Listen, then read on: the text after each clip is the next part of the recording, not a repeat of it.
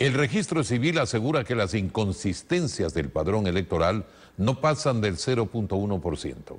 Su subdirector nos recibió y rechaza las denuncias sobre fallecidos en el registro electoral, doble número de cédula e incluso que aparezcan guerrilleros de las FARC entre los electores. Pero los denunciantes sí mantienen sus críticas, como nos informa Patricio Díaz.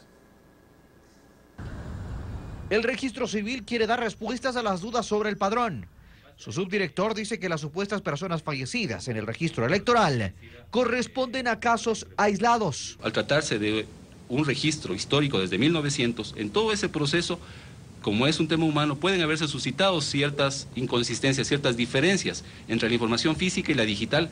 El denunciante y candidato a la Asamblea de Sociedad Patriótica, Néstor Marroquín, insiste. Es para que se corrija no para fastidiarle a nadie. Pero asegura que lo de los fallecidos es solo una parte. Desde su computadora presentó casos de personas con dos o más números de cédula. Que un homónimo completo tenga el mismo padre, tenga la misma madre, tenga la misma fecha de nacimiento y además tenga la misma acta de inscripción de nacimiento, bien complicado que sea otra persona. La otra identidad que supuestamente está duplicada está en condiciones de cédulas anuladas, de cédulas expiradas, de fallecidos, y de otras condiciones, ¿sí? que no son cédulas activas.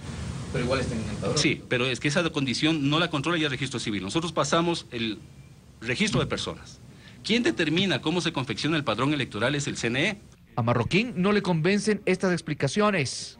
Suma esto el que hay cédulas supuestamente entregadas a miembros de las FARC, y aunque es algo que se denunció años atrás, aún permanecen en el padrón, como Rodrigo Granda, canciller de este grupo subversivo, y quién votaría en Quito. La prensa internacional reportó pues que las cédulas ecuatorianas que protegían a estos ciudadanos y al digitar esos números de cédula con la sorpresa de que están empadronados.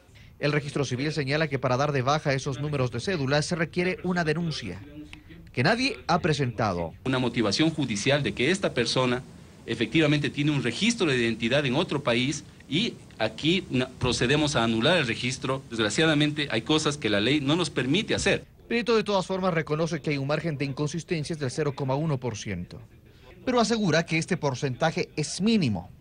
Significaría, dice, el 1 por mil.